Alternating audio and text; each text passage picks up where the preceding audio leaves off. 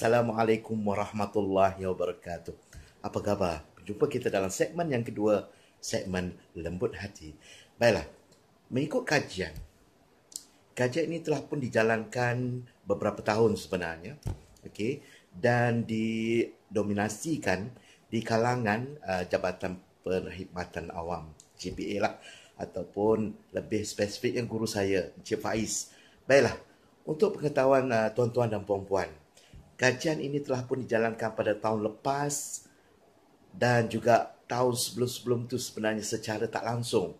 Tetapi daripada 10,000 responden yang kita buat ya untuk satu kaji selidik ini, kita dapati ia amat signifikan dengan hasil kepada setiap permasalahan ataupun setiap isu-isu yang mungkin ada kaitan dengan anak-anak kita, ibu bapa, tak kiralah golongan mana sekalipun sebenarnya. Baik, kajian ini juga okey, kita dapat buktikan ya apabila saya membuat beberapa um, roadshow, beberapa program, tak kiralah bersama guru, bersama ibu bapa, bersama pelajar, bersama anak-anak walaupun anak-anak tersebut masih lagi kecil. Okey? Baik. Dan untuk pengetahuan tuan-tuan dan puan juga, saya ingin tanyakan kepada tuan-tuan dan puan-puan. Apabila saya sebut haiwan-haiwan ini, tuan-tuan dan puan jangan fikir.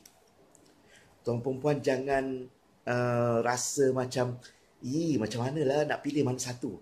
Tuan-tuan tuan-tuan puan pilih saja. Satu haiwan.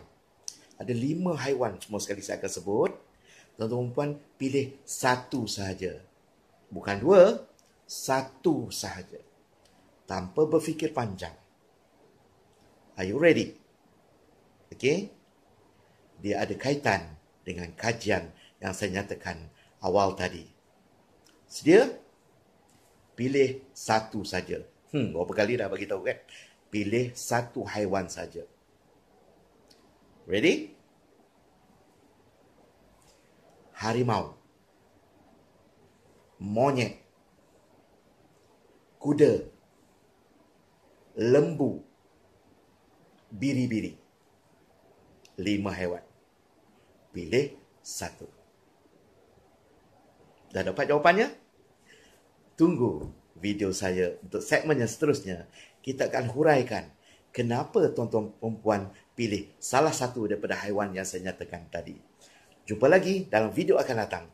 Jangan lupa layari www www.lemhati.com Jumpa lagi Assalamualaikum warahmatullahi wabarakatuh